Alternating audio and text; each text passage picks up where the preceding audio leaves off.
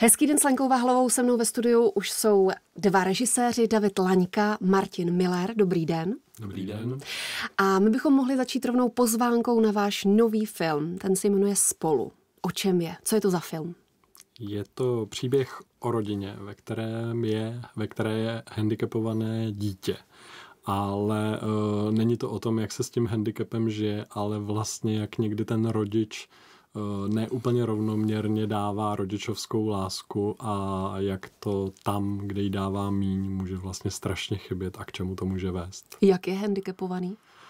Není to v tom filmu úplně přesně pojmenované, ale uh, je to vlastně nejblíž autismu uh, a nakonec vlastně i se Štěpánem Kozubem, který toho autistic, hmm. teď jsem to pomenoval, vlastně jako který toho handicapovaného syna hraje, uh, tak, jsme, tak jsme byli i uh, vlastně jako na konzultacích uh, v centru který se zabývá nebo pomáhá dětem s autismem. Štěpán tam i pak jako brigádničil, aby to tak do sebe nasál, takže je to jako nepomenované, ale nejblíž autismu.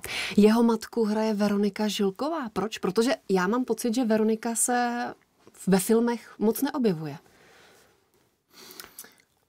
Eh, my jsme s Veronikou točili seriál Hvězdy nad hlavou a hrozně vlastně nám ta spolupráce s ní vyhovovala, vyhovovala a i vlastně je to prostě dobrá herečka a chtěli jsme jí dát tu roli, protože si myslíme, že si ji zaslouží, že vlastně po těch všech takových jako komediálních rolích v seriálech a tak by to chtělo něco jako, ne, jak to říct, jako vážnějšího. vážného nebo něco takového. Aby, aby mohla ukázat vlastně jako no. to, co, to, co v sobě skutečně herecky má, protože je pravda, že od uh, tele, tele že je zafixovaná mm. jako komediální herečka, ale má taky Českýho lva za Zapomenutý světlo a nominaci na Český lva za Otesánk a to jsou jako výrazný dramatický party a uh, ona se nám jako krásně odměnila za tu roli uh, fakt skvělým výkonem v tom filmu.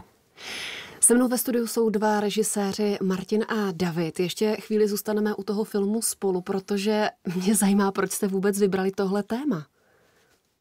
Proč vás zajímá vztah v úzovkách eh, zdravé matky, zdravé dcery s handicapovaným synem? Eh, no to nám tak jako, to nám bylo vybráno, to téma podstatě. Kým? Eh, naší dramaturgyní, mm-hmm. Zuzanou Vojtíškovou. My jsme, my jsme s ní připravovali jeden projekt, který nějak jako úplně nevyšel, tak ona nám poslala, kluci, tady mám jako super divadelní hru, přečtěte si to, řekněte mi svůj názor tak jsme si to přečetli a vlastně se nám to líbilo tak, že jsme si řekli, to natočíme, že to je hezký. I v originále se to jmenuje Spolu? Mm-hmm. Ano.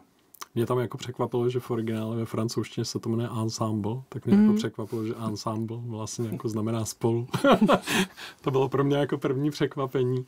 A nás jako s Martinem baví příběhy uh, který nejsou o nějakém velkém dramatickém množství jako lidí, který jsou takový jako nějaký uzavřený mikrosvět eh, těch, eh, těch postav eh, a, a tohle to krásně naplňovalo. Navíc to přesahuje tím tématem vlastně ještě jako tu rodinu. Není to jenom o tom, že je tam handicapovaný dítě, ale je to skutečně o tom přesahu, jak někdy skutečně do těch dětí se pumpuje až možná jako nezdravě, jako pozornost těch mm-hmm. rodičů, uh, že to vlastně to dítě může paradoxně jako zabrzdit eh, v nějakém přirozeném vývoji. Já tím nemyslím tady v tomto případě uh, k tomu handicapovanému dítěti, kde to je nějak vlastně jako plus minus přirozený, ale někdy ty rodiče dneska i vůči zdravým dětem úplně jako zapomínají vlastně na sebe a, a, a všechno projektují jenom do těch dětí a ne vždycky to může být vlastně zdraví. A tenhle ten přesah na té hře, na tom textu nás vlastně jako zaujal skutečně k tomu, že jsme si řekli, pojďme z toho udělat film. A je tohle názor i odborníků? Uh, že ta přílišná péče škodí? Uh, takhle. No, podle mě obecně. Je, jako, jako je, psychologů no. ano. No. Ale jako obecně podle mě jako by to se sebe obětování se za každou cenu pro to dítě nebo pro nějakou tu blízkou osobu je prostě jako, asi jako špatně vlastně. Ono třeba ani ten člověk o to nestojí, nebo to dítě. Jenom to nedokáže říct.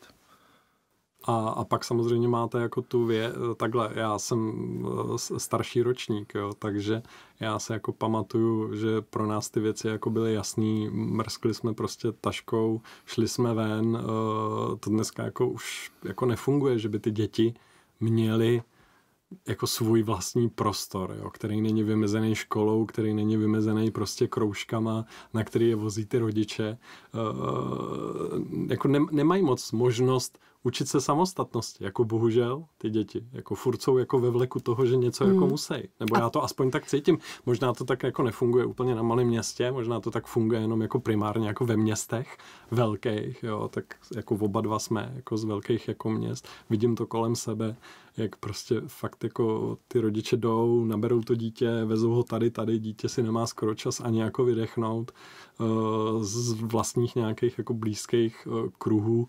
Vím i o těch, jak prostě zase jsou, jedou, já nevím, ve sportovním kroužku, jo, teď ono se jim tam třeba krásně daří, ale v 17 si řeknou, proboha, ale já jako to nechci. Jo, a nastane rozkol mezi vlastně jako tím dítětem, mezi tím rodičem, protože vlastně to dítě nesamostatný, nemá jako prostor pro to dělat věci, jak chce. Uh, nebo jak by cítilo. Hmm. Nebo jak by třeba ani nechtělo. Jo, jako třeba by nechtělo dělat nic, ale to dítě má přece nárok na to taky nedělat nic, že jo, jako, nebo nemí zrovna teď, jako nedej bože 14 dní, eh, kdy nechce dělat nic jiného, než se číst, nebo prostě, nevím, koukat na filmy. Vy jste mě navedli na zajímavé téma a máte v tom úplnou pravdu, že ten přístup k výchově dětí se výrazně změnil. Já totiž jsem zažila to samé, co vy, že jsem hodila tašku do kouta a v podstatě jsem měla celé odpoledne pro sebe. Proč se to změnilo podle vás? No, podle mě je to obecně uh, nějaký celospolečenský je v západní společnosti toho tlačení na, na úspěch a na výkon. Uh, a, a o tom to všechno je. Já, já nevím, nebo možná i na to, jak se ta společnost stala možná jako nebezpečnější uh, pro ty děti, nebo těch nástrach je víc, tak rodič se možná jako bojí, aby nedej bože mu dítě nezvlčilo, tak uh, pojďme ho zaměstnat. No a pak má to bohužel ještě taky ten jako vedlejší efekt, o kterém jsme mluvili. No. Jeden na plný úvazek. Hmm. Hmm. Dítě. Jestli to není taky těma technologiemi třeba, protože za nás jako mobily nebyly, že jo? no, je, je to no. jako jedno s druhým, U, jako určitě, no. jako akorát to chce že vlastně, vlastně jako- racionálně jako, uvažovat. Že jako no. to dítě teď asi nemá jako důvod jít ven, protože má všechno jako tady, prostě v tabletu, na mobilu. A to já teda no. jako můžu posoudit, že to bude fungovat jinak na těch malých městech, protože eh, jako vedle filmů ještě píšu vlastně knížky pro děti a, a ty jsou skutečně spíš o tom, jak jsem to dětství zažil. Já nemám tam ty moderní hmm. technologie, ale když se na besedách s těma dětma bavím, tak oni vlastně jako právě tohle to na těch knížkách mají rádi, že tam není ten jejich jako úplně normální život a když jsem na malém městě, tak tam prostě jdou, jdou jako ven. Není to tak, že vysí celý odpoledne na počítači a sjíždějí tam bůh co. Mně se to líbí i u nás, jako vlastně v našich filmech, že tam vyloženě nemáme jako mobily hmm. a počítače, nebo když tam je mobil, tak není signál a takovýhle jako věci. jo, jo, no trošku to jako jít na dřeň, protože za, zároveň vemte, jako co přežívá za filmy, že jo, nepřežívají za filmy ty, kteří se zabývají uh, jako všedním nějakým realitou toho, toho, že tam přesně realitou zatelefonujeme realitou všedního dne, ale ale, ale ty pří, jako příběhy, které přežívají, stojí jako na komunikaci lidí nebo na nekomunikaci lidí. Jo? Hmm. Uh, jsou oproštění od těchto těch jako moderních pozlátek. Jo? Jsou vlastně o vztazích. A ty vztahy jsou furt stejný. Jo? Hmm. Uh, a, a, a musí být. Proto i my se snažíme tyhle ty věci jako z těch filmů dát jako pryč uh, a nechat ty lidi spolu mluvit. Jo. A jak se tohle téma, o kterém se teď bavíme, promítá do toho filmu spolu? No, paradoxně tím, že to je vlastně o rodině, která se spolu musí naučit mluvit. Protože eh, jsou tam věci, které jsou uh, pod pokličkou, které se, protože jsou vlastně jako nepříjemný, tak se o nich nemluví. Ale na to je taky nabalený to, že když jako v té rodině nemluvíte, tak většinou nemluvíte ani o tom, co k sobě cítíte. Máte pocit, že to nějak jako vyplyne. Uh, tak je to vlastně jako ten film spolu je i o tom, že je potřeba uh, ty věci uh, o nich mluvit v rodině a že je potřeba si říct, mám tě rád. A ten autistický nebo handicapovaný kluk o těch věcech dokáže mluvit? Dokáže vyjadřovat své pocity? Dokáže vlastně. On vlastně podle mě paradoxně nejvíc jako z těch tří, tak o tom mluví jako nejvíc vlastně. O těch svých pocitech. Že ty holky tak jako mezi sebou nemluví, ani se jako pomalu neobejmou skoro, nebo ani se vlastně nedotknou. Když to on, když jako to, co cítí, tak prostě to řekne. A jenom na vysvětlenou uh, holek, jo. že tam ještě vlastně dcera jako matka. další Dcera a je, je matka. dcera a No. matka, uh, dcera v podání Kamily Janovičový. A přitom, že jo, ta, ta dcera má problém ještě ve svém vztahu jako a- Partnerským. partnerským tak. Protože si do něj přesně přenáší, Přenáší ten model z domova uh, toho nekomunikování. Tak. A ten partner je naopak ten, který by to hrozně jako chtěl, ale ona mu vždycky, ona vždycky tak jako od Vždycky toho problému tak jako, řekl bych, uteče, Uteče. aby ho nemusela řešit. Kde je v téhle rodině otec? Manžel Veroniky Žilkové a otec Štěpána Kozuba. To vám neřekne. Ten je pryč. Ten je pryč. Je To tam se na, dozvíme je tam, až- je tam na fotce, ale, ale uh, dozvíme se v Až ve průběhu filmu. příběhu. Mhm. Se mnou je stále David Laňka a Martin Miller. Zajímá mě taková jednoduchá věc. Proč Štěpán Kozub? No. To Proč jste vybrali tak Štěpána? nějak jako vlastně vyšlo hezky, podle mě, protože všichni asi teď Štěpána známe, nebo znali jsme ho předtím, nevím, ze Tří tigrů, a tady z těch komediálních rolí, ale my jsme nějak jako cítili i podle toho, co jsme viděli jako za jiný ukázky, kde on hrál, že vlastně má v sobě víc než jenom tu komediální polohu. Že umí i drama. A v neposlední řadě jsme vlastně jako hledali spojku mezi těma třema, aby tam byla nějaká určitá fyziognomická podobnost, mm. aby, aby to byla jako rodina uvěřitelně na první pohled.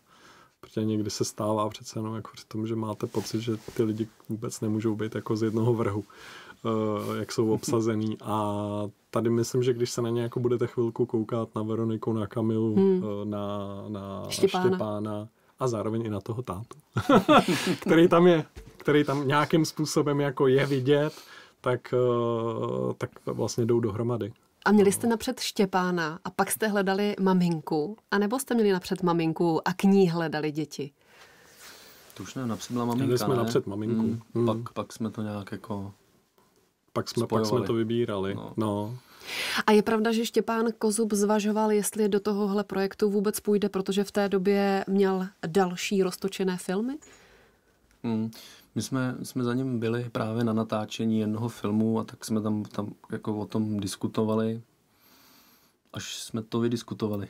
Tak, až, až jsme se, na, jako zvažoval to, No. no, protože Co ho přesvědčilo? měl, měl uh, jak, jak on sám řekl, uh, přesvědčilo ho to, že to nebude mít snadný, to hrát, Mhm. tuhle tu roli. A, a protože on je takový jako poctivý uh, dříč a má rád ty výzvy, jak se dneska říká, challenge, tak to, tak, uh, tak toho vlastně přesvědčilo, že, že to nedá jako na autopilota. A, a to jeho jako baví. A Uh, konzultoval to, skvělý. konzultoval to i s odborníky a chodil, dejme tomu, mezi autisty nebo další handicapované? Právě, že jo, což vlastně je super, což je takový jako pro mě hollywoodský přístup k té roli, že vlastně šel jako do, do nitra toho, aby, aby to prostě nasál a byl vlastně jako fakt jako přesvědčivý. A zároveň já musím říct, že pro nás asi takovým uh, nějakým potvrzením správní cesty, správné cesty při té realizaci bylo, když Štěpán občas zveřejnil na svých sociálních sítích nějakou jako ukázku Mhm. a nám pak vlastně jako paní, se kterou jsme konzultovali uh, a která má sama dvě jako autistické děti, tak uh, napsala úplně tak sama od sebe, že když se jako na něj kouká, takže to je jako kdyby koukala na svého staršího syna, takže tam jako my- myslím, že při nejmenším ve Štěpánově výkonu je to správnou cestou.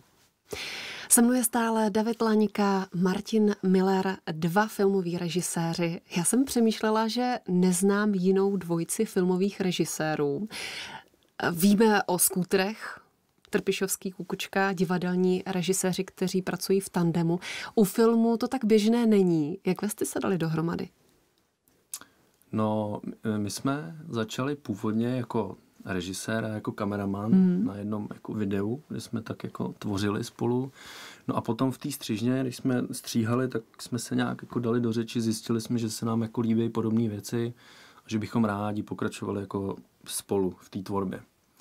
Pak nějak, myslím, jsme nic nedělali, že jo? A pak nějak jsme se zase sešli, že mi David zavolal, jestli bych nechtěl jako režírovat videoklip k, k, jeden.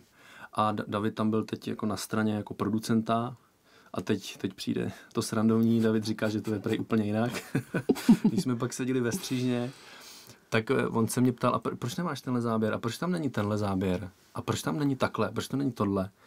No a pak, jako když jsme jako vylezli z té střižny, tak jako říkal, hele, příště prostě budeme režírovat spolu, to bude nejlepší. Já nejsem takováhle Takhle si to pamatuju já. tak, tak jak, to, jak to bylo, Davide? Jak já to nevím, takhle já si to nepamatuju. No, jako je pravda, že jako jinde než ve střižně bych to říkat nemohl, protože jsem k tomu měl paralelně nějaký věci, takže jsem na tom natáčení jako vlastně moc nebyl. Uh, ale uh, já nevím, no, já myslím, že to nebylo tak násilný. Já myslím, že Martin, on je takový, uh, jak se tomu říká, jako submisivní typ trošku, takže že to bylo až jako na dalším projektu, že to byl ten jako krátký horor, no, no, no. poprvé a naposled. Jo, to je pravda vlastně. Jo, kde, kde já jsem jenom nějak jako poulaďoval nějaký jako dialogy Martinovi a, a, a, a byl jsem tam taky spíš na straně jako toho, toho scháněče peněz.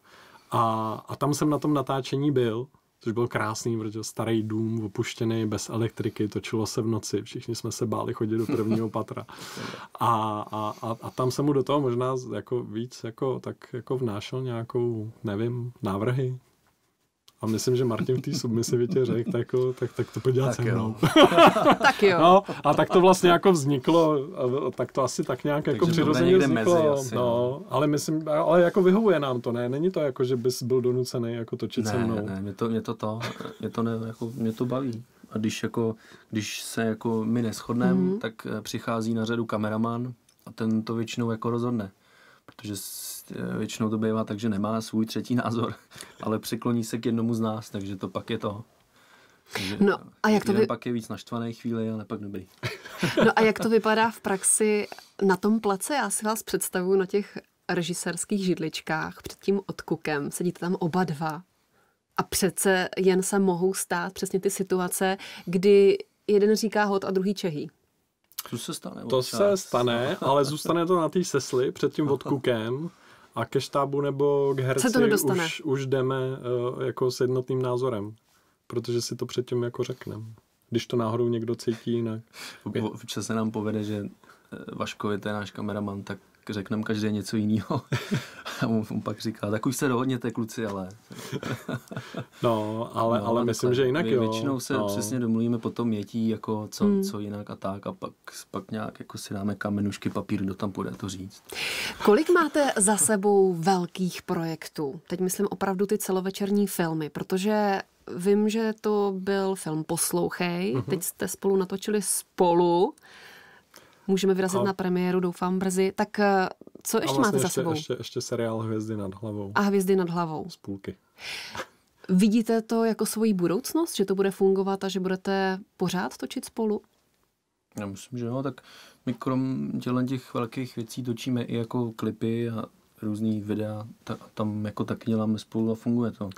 Tak, tak. Si myslím. A my většinou máme jako tu vizi tím, že si děláme i společnou přípravu, tak eh, máme už tu vizi nějak jako danou vlastně, že víme. Tak a zároveň máme před sebou jako spoustu projektů, teď jako před, před natáčením je jeden takový uh, to jako bude průbířský kámen, myslím, jako pro všechny, protože mm. je to mhm. velmi uh, nekorektní komediální seriál. v žánru, který se tady moc vlastně netočí, jako gang, taková jako gangsterka. Mm-hmm. Uh, no, uh, a tak, na to se jako vlastně jako mm. hrozně těším a to je zároveň vlastně projekt, který už máme připravený strašnou spoustu jako let a nějak se nepodařilo uh, sehnat vlastně financování, ale teď uh, vlastně pak přišla Prima, že by to ráda, takže jsme ocenili zároveň i její jako odvahu jít zrovna tady do toho, no. Takže, takže to jsou jako věci, které máme a plus ještě nějaký další chystaný projekty, ale ty jsou zatím tak jako ve fázi, jak to bývá schánění financí. Na závěr čeká nás tedy film Spolu, premiéra v kinech, pak chystáte seriál. Co dál vás ještě čeká? Hmm. Tam to, no, já mám pocit, že tam je toho strašně moc, že máme tak jako, jsme si vymysleli práci na deset let dopředu. Fakt? No. Je tam další film? No, je tam, je, je tam, tam film, který jako taky připravujeme už asi dva roky, ne? Nebo tři, nebo něco takového. Podle toho, který myslíš. jo, jo, tenhle ještě. to je pravda, no. No, je tam toho dost vlastně, no. no jako, A můžeme jako... být konkrétní? Můžete něco prozradit? Uh, Na čem pracujete? Dobře, já, já prozradím uh, dva jestli hmm. teda jako můžu. Jeden je, jeden je útěk. To zároveň, pokud by nás poslouchal někdo, kdo se nebojí uh, investovat uh, do filmu, který je o dětech, ale není primárně pro děti, tak uh, ať se ozve, uh, protože je, je to podle knihy Oty Hoffmana Útěk. Je to vlastně o dvou klucích, uh, jeden 17-letý, co utek z pasťáku, jeden uh, 8-letý na který padlo podezření, že zapal stodolu a oni se tak setkají a v průběhu dvou dnů se vzájemně vlastně jako ovlivní uh, malej toho velkého, aby se naučil důvěřovat lidem a velký toho malého, aby si dokázal stát trošku za svým a nebyl jenom tak ve veliku silnějších. Je to hrozně krásný příběh, ale, ale uh, jak říkám, jako všichni radši budou točit romantické komedie, hmm. protože jsou jako hmm. jistější. A ten druhý a projekt? ten druhý projekt to je ten se odehrává v průběhu jedné noci mm-hmm. a je to o páru, mladým páru s malým dítětem, který je trošku ve finanční krizi, uh, jednak vinou určitého škraloupu partnera a jednak kvůli exekucím, které mají ze špatných jako půjček a něco se v průběhu té noci vlastně jako odehraje a vykrystalizuje mezi nima a je to takový takové tak, jako špinové, se, ponuré sociální, no, sociální drama. drama zase. S přesahem. Se mnou byli režiséři David Lánika a Martin Miller. Moc vám děkuji za rozhovor a ať se vám daří. Děkujeme. Děkujeme.